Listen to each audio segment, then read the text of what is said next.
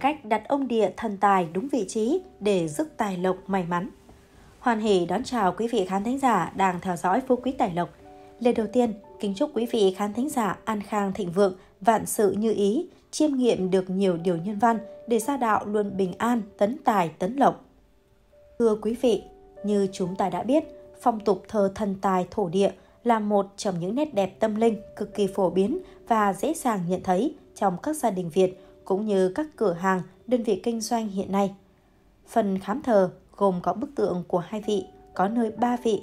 Thế thì việc đặt ông thần tài đặt bên trái hay phải hay bài trí như thế nào cho đúng chuẩn phong thủy để mang lại những hiệu ứng tâm linh, phong thủy tích cực nhất chính là điều mọi người quan tâm. Bởi có thờ mới có thiêng, có đặt chính xác và thờ cúng đúng hai ông thần tài thổ địa thì tài lộc mới kéo đến, còn không thì càng làm lại càng nghèo, càng cúng càng đắc tội đó các bạn ạ. Và để trả lời câu hỏi trên, xin mời các bạn cùng Phú Quý Tài Lộc đi tìm câu trả lời chính xác nhất và chi tiết nhất về cách đặt, sắp xếp các vật phẩm trong ban thờ thần tài nhằm đắc tài tụ lộc các bạn nhé.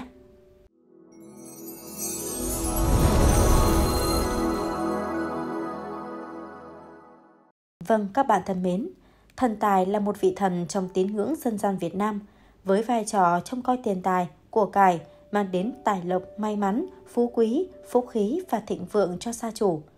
Tượng thần tài trong bàn thờ thần tài thổ địa đại diện cho 5 vị, bốn vị đại diện cho bốn hướng Đông, Tây, Nam, Bắc và một vị chính diện ở giữa. Còn ông địa hay còn gọi là thổ công hoặc thổ địa, theo quan niệm dân gian là vị thần cai quản một vùng đất, bảo hộ đất đai và những người sinh sống, làm việc tại vùng đất đó. Tương tự như thần tài, tượng thổ địa trên bàn thờ cũng đại diện cho năm vị, đại diện cho bốn hướng và một vị ở trung tâm.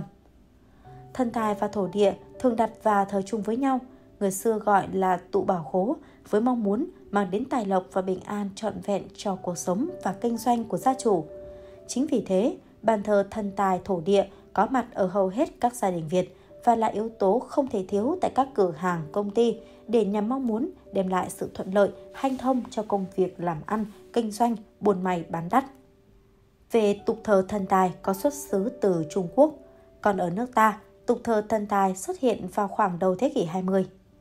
Theo truyền thuyết xưa, có một người lái buôn Trung Hoa tên là Âu Minh khi đi qua hồ Thanh Thảo tình cờ gặp thủy thần, được thủy thần cho một người gia nhân tên là Như Nguyện. Âu Minh đem Như Nguyện về nuôi ở trong nhà, từ đó công việc làm ăn của Âu Minh mỗi ngày một phát đạt. Trong một ngày Tết, vì một lý do nào đó, Âu Minh đánh Như Nguyện. Như Nguyện quá sợ hãi, bèn chui vào đống rác và biến mất. Từ đó, Âu Minh làm ăn thua lỗ, chẳng mấy chốc nghèo xác nghèo sơ. Người ta bảo Như Nguyện là thân tài và lập bàn thờ Như Nguyện.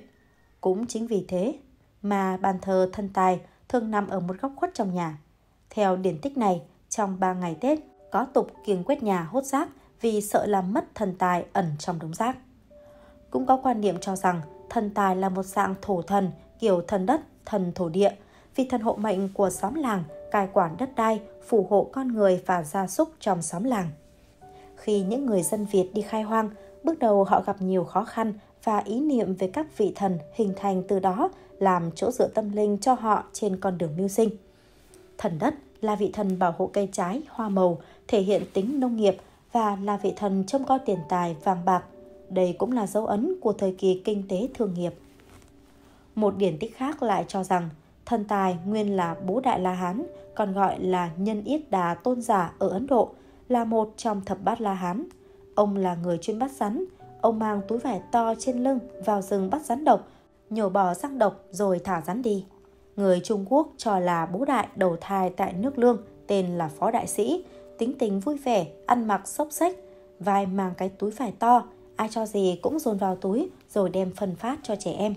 Do đó, có tượng thần tài đứng có mang túi to, hai tay đưa thẳng lên trời, cười thoải mái, tượng trưng cho sự may mắn thành công. Mặc dù thần tài được xem là một hình tượng khác của thần đất, nhưng cả hai vẫn mang yếu tố tâm linh giúp con người làm ăn phát đạt. Cho nên, người ta không thờ thần tài một mình mà thường thờ chung với thổ địa, vị thần cai quản đất đai, nhà cửa. Trong những gia đình làm ăn buôn bán, người ta thường cúng thần tài quanh năm.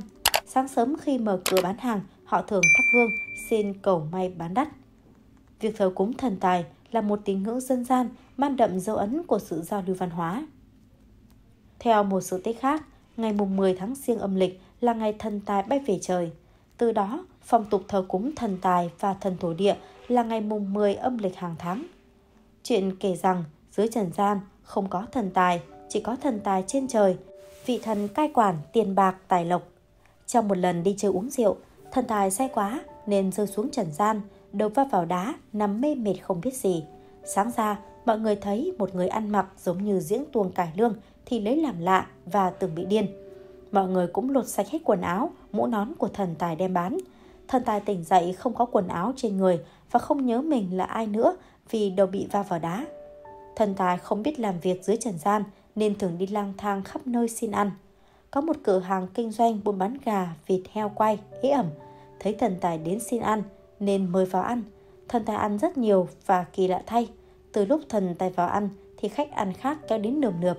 Người bán hàng thấy vậy nên ngày nào cũng mời thần tài vào ăn. Khách hàng ở quán đối diện trước này rất đông khách, bỗng dưng chuyển hết qua quán bên này ăn. Được một thời gian, người bán hàng thấy thần tài chẳng làm gì mà suốt ngày được ăn uống ngon, lại toàn dùng tay ăn bốc, người thì bốc mùi. Nghĩ thần tài sẽ làm khách sợ không dám đến ăn và hao phí đồ ăn cho người ăn mày, nên người bán hàng mới đuổi thần tài đi.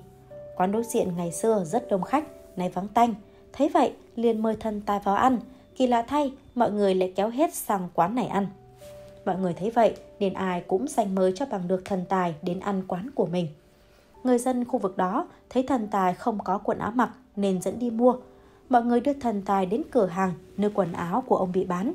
Sau khi mặc quần áo mũ nón vào thì thần tài nhớ lại mọi chuyện và bay về trời. Mọi người coi thần tài như báu vật và lập bàn thờ, tôn thờ từ đó.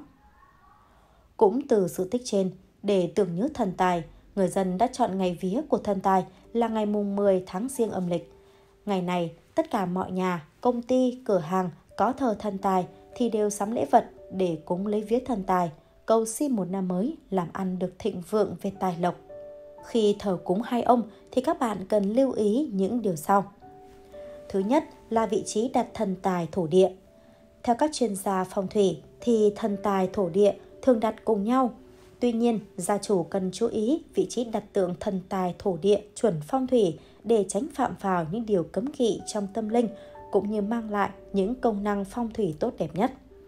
Theo quan niệm thờ cúng của người Việt, ông thần tài sẽ được đặt ở phía bên trái ông địa theo hướng nhìn chính diện vào. Nếu bạn đang đặt vị trí của thần tài thổ địa sai cách cũng không cần quá hoang mang. Vì người Việt cũng có câu thờ cúng tại tâm, chỉ cần thay đổi vị trí đúng chuẩn phong thủy và thành tâm cúng bái, tài lộc, may mắn sẽ đến với gia chủ. Đối với các bàn thờ thần tài có ba ông bao gồm thần tài, thổ địa, thần phát thì cách đặt thần tài sẽ ở phía bên phải, thần phát ở giữa và thổ địa phía bên tay trái bạn nhé.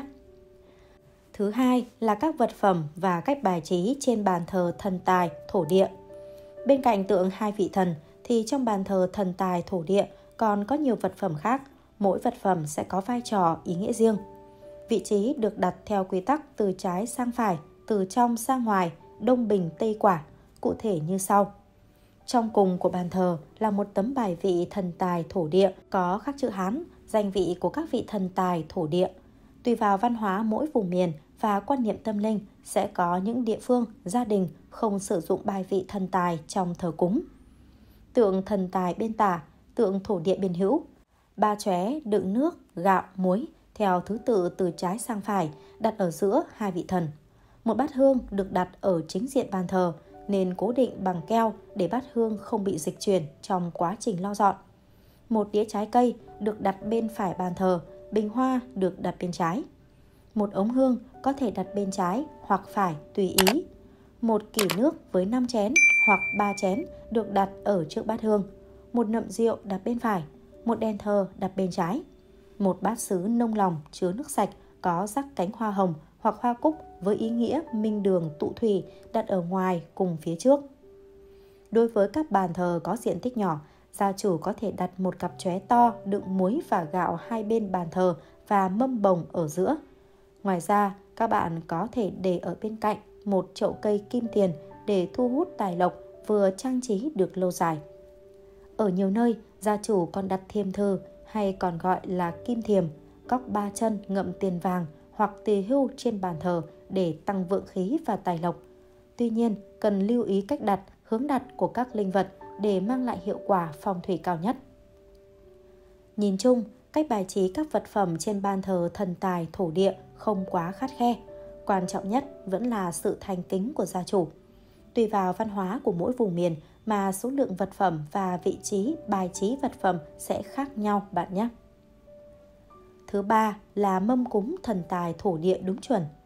Vào những ngày đại an, tốc hỷ, tiểu cát hoặc ngày lễ Tết, đặc biệt là ngày viết thần tài, gia chủ cần chuẩn bị một mâm lễ cúng thần tài thổ địa để cầu mong những điều tốt đẹp, thuận lợi, làm ăn phát tài phát lộc. Mâm cúng thường bao gồm các vật phẩm như thịt heo quay, bắt buộc phải có vì theo quan niệm dân gian, thần tài thích ăn thịt heo quay. Cá lóc nướng, bộ tam sen gồm một miếng thịt heo quay, một quả trứng luộc, có thể trứng gà hoặc trứng vịt và một con cua hoặc tôm luộc. Bình hoa tươi, thường là các loại hoa màu sắc sặc sỡ như hoa hồng, hoa đồng tiền. Trái cây tươi được rửa sạch để ráo nước là những loại trái cây có tên gọi may mắn như quýt, xoài, thanh long. Bộ giấy tiền vàng mã cúng ông địa thần tài. Ngoài ra, gia chủ còn có thể dâng thêm các loại món ăn khác như xôi, chè, tùy vào văn hóa vùng miền và địa phương mà có thể có các vật phẩm thờ cúng khác nhau. Như một số địa phương ở miền Trung có thêm các loại khoai sắn luộc để dâng lên ban thờ cho tươm tất. Thứ tư là văn khấn thần tài thổ địa. Nam mô A Di Đà Phật ba lần, còn kính lại Hoàng Thiên, Hậu Thổ, chư vị tôn thần, còn kính lại ngài Đông Trù Tư Mệnh tá Phủ Thần Quân, còn kính lại ngài Gia Môn Thổ Phủ, Thổ Chủ Tài Thần, còn kính lạy các ngài tài vị tiền, còn kính lạy tiền hậu địa chủ chư vị linh thần, còn kính lạy bản xứ thổ địa phúc đức chính thần, còn kính lạy các ngài thần linh thổ địa cai quản trong khu vực này. Tín chủ chúng con là ngụ tại. Hôm nay là ngày mùng 10 tháng riêng năm Giáp Thìn, tín chủ con thành tâm sửa biện, hương hoa lễ vật, kim ngân, trà quả và các thứ cúng dâng, bày ra trước án, kính mời ngài thần tài tiền vị thổ địa và chư vị tôn thần chứng giám. Con cầu xin các ngài phù hộ cho chúng con nhận được nhiều hợp đồng lớn, gặp được nhiều khách hàng tốt, thực hiện công việc hợp đồng được hanh thông, đạt kết quả cao, để tín chủ chúng con có tài có lộc, có ngân có xuyến, trên lo việc âm công phúc đức, dưới gánh việc gia chung, để cửa hàng công ty ngày càng phát triển. Kính xin các ngài sở cầu tất ứng, sở nguyện tổng tâm. Chúng con lễ bạc tâm thành, trước án kính lễ, cúi xin được phù hộ độ trì Nam Mô A Di Đà Phật ba lần. Thứ năm là những lưu ý khi thờ cúng thần tài thổ địa. Có thờ có thiêng, có kiêng có lành. Bên cạnh những thông tin cơ bản trên, gia chủ cần hết sức lưu ý những điều sau đây để tránh phạm phải những điều tối kỵ trong việc thờ cúng thần tài thổ địa. Các vật phẩm trên bàn thờ như bát hương, chóe nước trước khi đặt lên bàn thờ đều phải rửa sạch, tẩy uế bằng nước gừng cần lau dọn bàn thờ sạch sẽ hàng ngày, tuyệt đối không xê dịch bát hương khi lau dọn. Các vị thần tài thổ địa phải đặt cao hơn bát hương để quan sát được toàn cảnh không gian nhà cửa. Không nên đặt hướng bàn thờ tùy ý mà không tham khảo những nguồn thông tin chính xác sẽ gây tổn hao tài lộc. Không được thiếu chóe đựng nước, gạo, muối và bát tụ lộc, bát nước minh đường tụ thủy. Không sử dụng hoa quả bằng nhựa, không được để hoa quả trong thời gian dài bị khô héo hư hỏng trên bàn thờ. Khi đặt thiềm thờ, cốc ngậm tiền cần quay theo hướng vào ra phù hợp bạn nhé. Trên đây là toàn bộ thông tin liên quan đến việc thờ cúng thần tài thổ địa đúng chuẩn phong thủy cũng như vị trí đặt hai ông để không bị mang tiếng bất kính. Các bạn có thể tham khảo để thờ cúng cho đúng, từ đó tài lộc sẽ được tăng tiến, tiền vào như nước các bạn nhé. Và đến đây thì nội dung của chúng tôi cũng xin được khép lại. Cảm ơn quý vị và các bạn đã dành thời gian theo dõi chương trình ngày hôm nay. Quý vị đừng quên ấn like và đăng ký kênh Phú Quý Tài Lộc để không bỏ lỡ những video hay nhất từ chúng tôi. Còn bây giờ, xin chào và hẹn gặp lại trong những chương trình tiếp theo.